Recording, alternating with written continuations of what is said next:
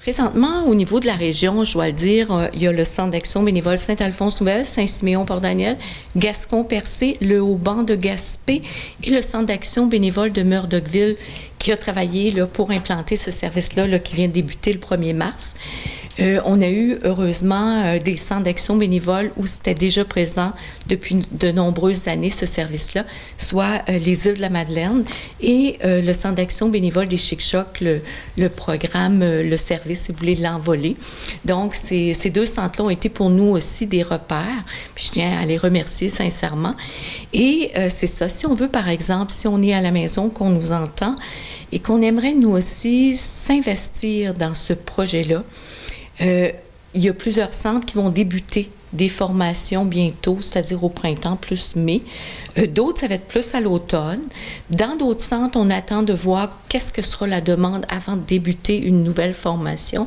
Donc, c'est d'entrer en contact avec son centre d'action bénévole le plus près de chez nous pour avoir plus d'informations parce que c'est sûr, on est tous quand même autonomes, puis on y va avec nos réalités du terrain aussi. Pour le centre d'action bénévole ici, Saint-Siméon-Port-Daniel, si on désire devenir bénévole, qu'on aimerait ça suivre la formation, parce que la formation est vraiment obligatoire, on doit entrer en contact avec euh, Mme Lisa Garand, qui est à la gestion responsable des bénévoles chez nous, qui va débuter par faire une entrevue avec la personne, voir si elle est rendue là, euh, si elle est prête à faire euh, ce type de bénévolat-là, parce que c'est quand même un bénévolat qui n'est pas je veux pas dire qu'il n'est pas régulier, mais c'est pas un bénévolat qu'on va faire tous les jours. C'est pas un bénévolat qui, je veux dire, on va faire un accompagnement transport chez le médecin je veux dire, faut avoir quand même euh, une. Comment je vous dirais ça? Faut avoir une, ouverture face à la mort. Faut, faut, faut euh, se sentir bien dans le fond avec tout ça. Si on s'engage dans ça puis qu'on n'est pas bien avec la mort, on peut avoir un petit peu de difficulté à être un, être un bénévole auprès du prochain aidant qui va avoir besoin d'en parler, quand on va accompagner la personne, tout ça.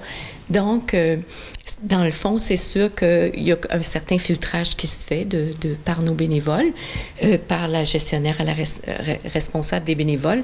Et euh, c'est ça. À partir, quand on va avoir une dizaine de nouveaux bénévoles pour chez nous, on va pouvoir penser à une nouvelle formation parce que c'est quand même une formation de 36 heures et c'est une formation quand même qui demande du temps de, de s'y investir, tout ça. Donc, euh, c'est d'entrer en contact avec son centre d'action bénévole le plus près de chez nous.